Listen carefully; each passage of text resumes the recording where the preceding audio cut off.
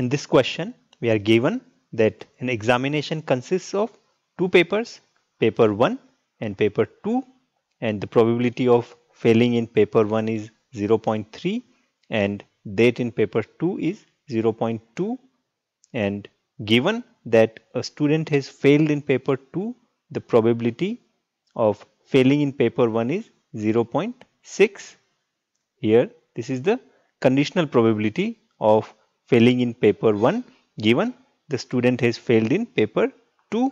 then we want to find probability of a student failing in both the papers. So let's define the event of failing in paper 1 as f1 and the event of failing in paper 2 as f2 and we are given that probability of f1 is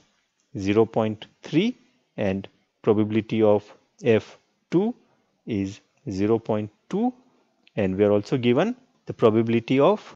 f1 that is failing in paper 1 given f2 that is the student has failed in paper 2 as 0.6 and we want to find probability of a student failing in both the papers that is probability of f1 intersection f2 and that using conditional probability I can write as probability of